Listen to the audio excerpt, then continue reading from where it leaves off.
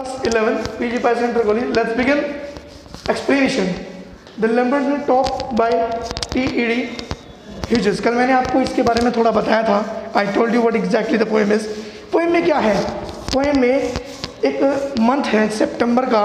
उसके मौसम के बारे में डिस्क्रिप्शन दिया हुआ है। और एक बर्ड है, जिसका नाम है गोल्डन फिंच मैं एग्ज़ाम में क्वेश्चंस में पूछूँगा। नेम ऑफ़ द बर्ड है ना? देखिए एक्सप्रेशन में क्या कहा उसने?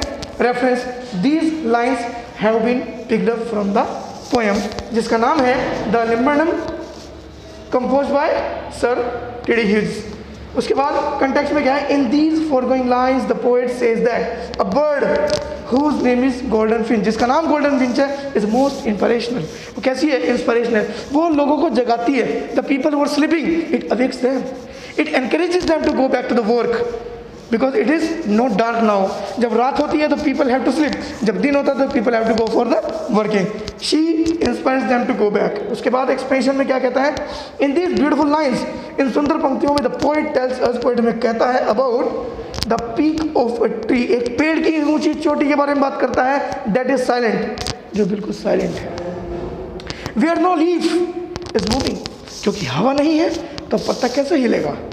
इट इज़ सितंबर सितंबर का महीना है व्हेन द वाइंड ब्लोज जब हवा चलती है but the sunlight makes all plain and silent लेकिन सूर्य की किरणें भी तो क्या करती हैं? वो भी अपना प्रभाव दिखाती हैं और सारे पत्तों को पीला कर देती हैं। आपको उतारना है, बहुत इंपॉर्टेंट है ये एक्सप्लेनेशन मोस्ट इंपॉर्टेंट एग्ज़ाम के लिए. Thank you so much